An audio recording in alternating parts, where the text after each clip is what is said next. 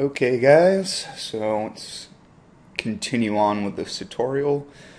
Um, the first thing that we're going to want to do is go to the 960 grid system website and to get there it's just 960.gs alright and uh, it's, it's a really cool uh, resource that we're going to be using and uh, to show you what it exactly is is it's uh, a way to design uh, uh, to design websites. Um, if you use their template, it's it's going to be really easy to write all of the code for the website. Uh, so these are just some examples of websites that use the 960 grid system. Um, some of them are a little bit more obvious than others, but uh, if you click this little button that says Show Grid, it's going to show the 960 grid system on top of uh, this website. So you can see uh, how everything kind of lines up. Uh, and I mean, it, works with all of these. Some of them are a little bit more obvious than others. Uh, but see how all these images down here line up. Um, and let's see here. There's a really good one down here. This one, it's so obvious that it uses the 960 grid system, which is fine. It's it's a great uh, tool. Uh, so you know this navigation, this logo up top here, content, all these buttons down here, everything lines up, and it, it looks great. I I think it looks really nice. It looks really clean, looks professional, uh, and it's really easy to do. So what we need to do is download the 960 grid system. So it's just up here at the very top left corner of the website. Just click on that and it'll download. And uh, I've got it right here on my desktop. So I'm just going to extract it. And take a second.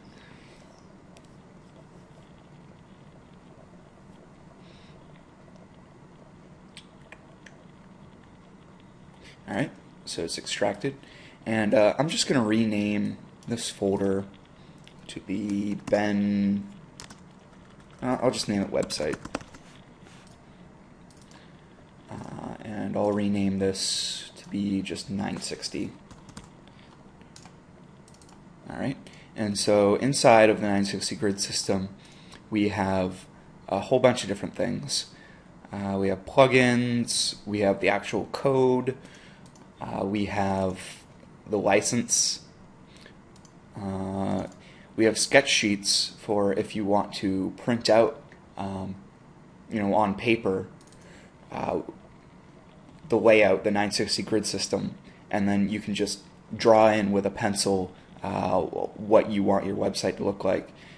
Um, so it's got the layout right here. Uh, I find that when I print this out, it's usually a little bit too light, so you might want to go into Photoshop and, and darken it a little bit. Um, but it's pretty cool, and it has different uh, different views of the 960 grid system. Uh, I, I didn't mention this before, but there's two types or two main types uh, that are used for the 960 grid system. There's 12 column and there's 16 column. So this website right here uses 12 columns, and these red bars are columns. Um, this one over here uses 16 columns. I kind of like 12 columns over 16, uh, but I mean you can use 16 if you want. Either one's fine. So um, anyway, so they have the 16 column and 12 column grids inside here that you can print out. Uh, this is actually really useful, and, and, they have 24 column as well, which I don't, I don't think you really need. Um, it, this is kind of nice for if you're sitting down with someone uh, trying to help them out and design a website for them. But uh, what we're going to be using in this tutorial is uh, the Photoshop template. So that's just under templates and then Photoshop. So, you know, they have the 12, the 16, and the 24 column. But we're going to be using the 12 column. So let's just copy that file and we'll go back to our website folder. And I'll make a new folder and call it uh, layout. And we're going to paste that in there. And uh, we'll open this up and take a look at it.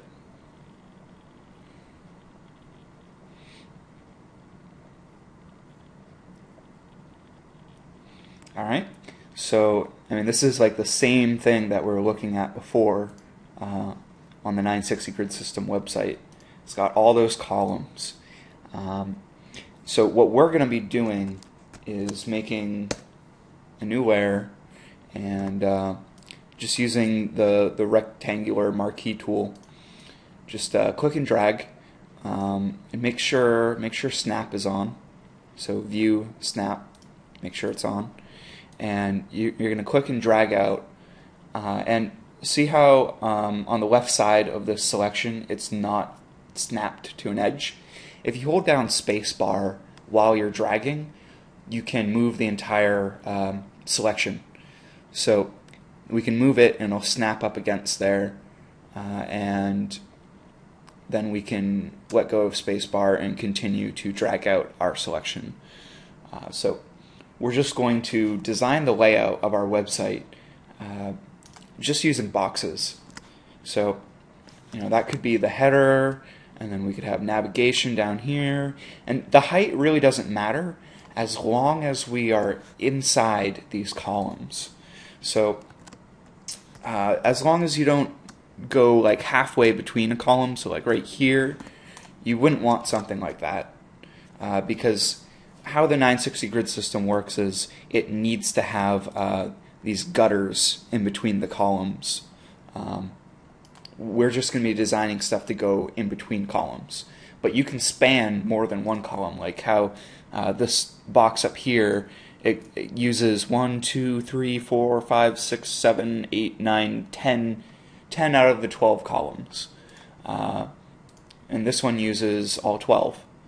Uh, as long as you use um, you know, integer numbers of columns, it's fine.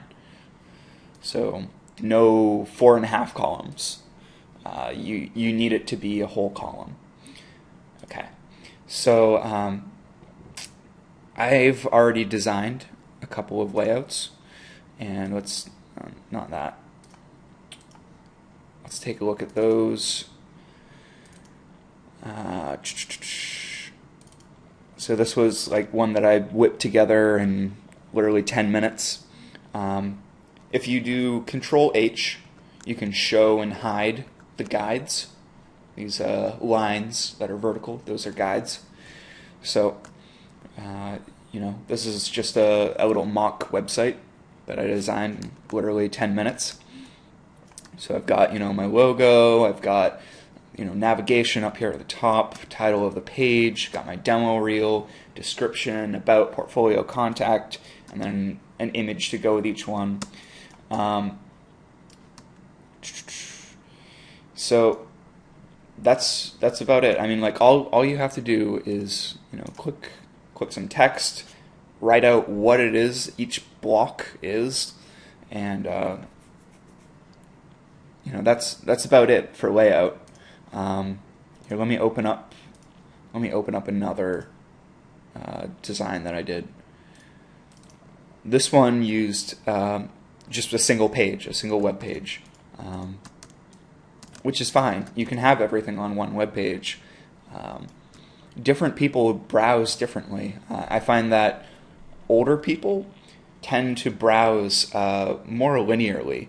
Like they'll start at the top and work their way down the website uh, and it's and it's fine. It's it's how they they browse. Uh, younger people tend to skim through an entire website and then decide where they're going to start reading or where they're going to look into.